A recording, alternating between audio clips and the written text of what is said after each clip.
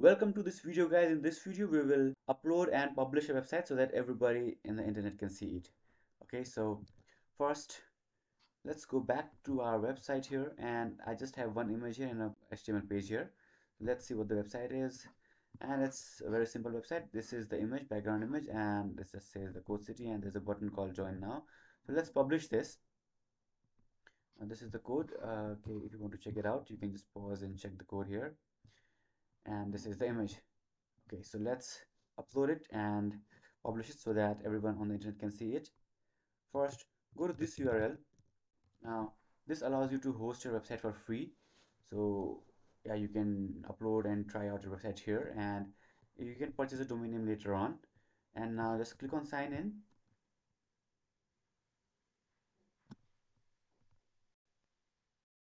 Now you'll see this login page.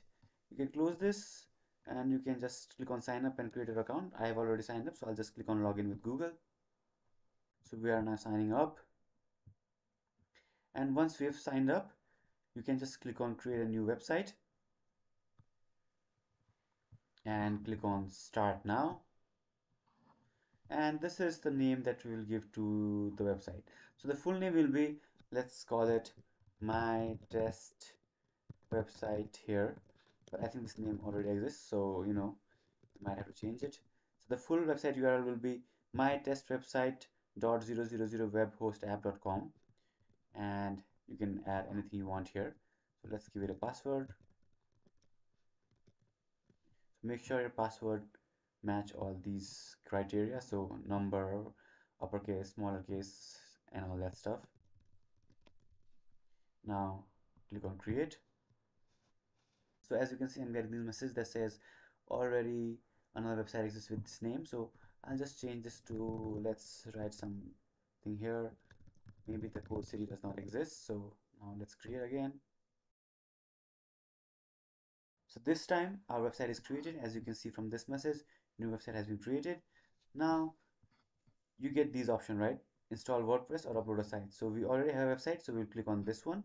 Click select and now you get to upload websites here. So now go inside public underscore html by clicking here. And inside there is no file but just this .htaccess file is there. And once you are inside public underscore html you can just go to your website files as I have these two files here. And you can select all these two by pressing ctrl a. And you can drag and drop these files here. And these files will be uploaded. Click on upload